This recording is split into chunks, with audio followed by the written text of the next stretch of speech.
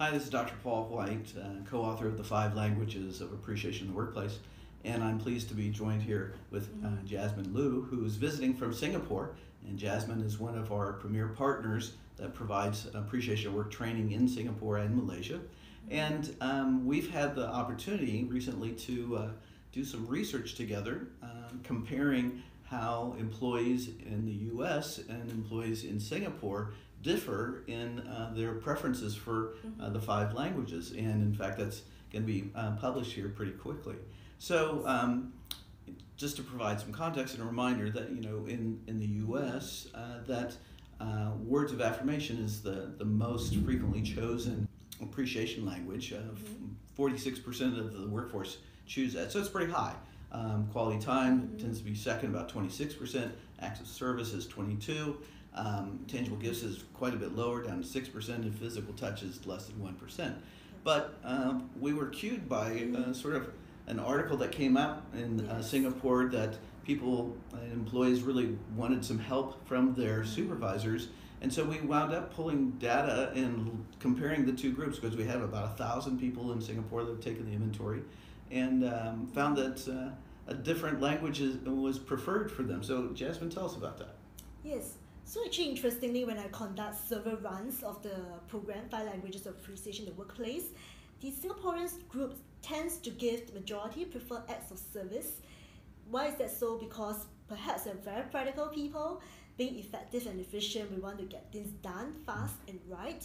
So we prefer our leaders to actually don't give lip service. It's not about just praise or encouragement, but sit down and understand my problems and also uh, help me to overcome the obstacles. Mm.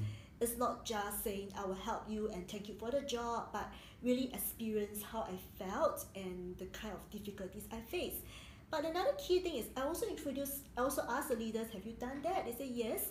But on the other downside, because it's not done effectively, is when leaders are trying to listen and help the employees, it becomes a scolding session Mm. where they start to be very critical, like, why are you not doing this? Why are you making these mistakes?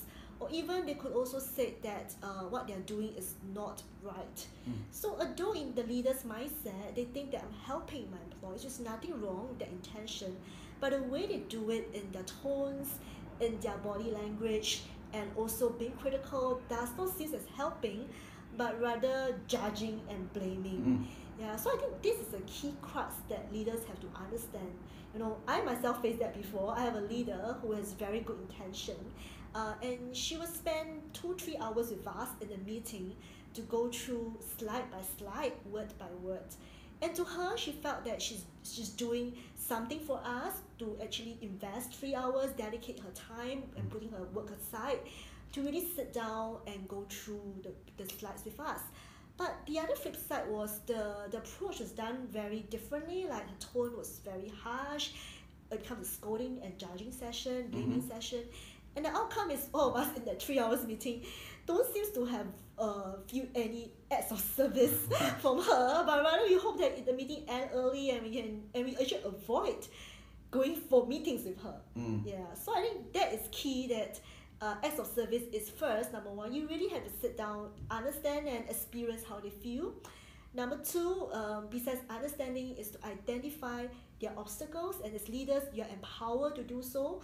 You have to uh, help them to overcome the obstacles, and if you're very grateful, it can be simple things like helping them with work processes, uh, streamline their work processes, or even provide resources like proper tools, equipment, and computers to help them to do their job effectively and efficiently. Yeah, yeah. So I mean, it is obviously true that uh, whether you're a supervisor or a colleague, how you provide an act of service can really make a difference in how it's both delivered and how it's received. And uh, we want to do it in an encouraging way, not in a uh, sort of condescending way. So it's helpful to, to hear that context, and thanks for sharing. Welcome.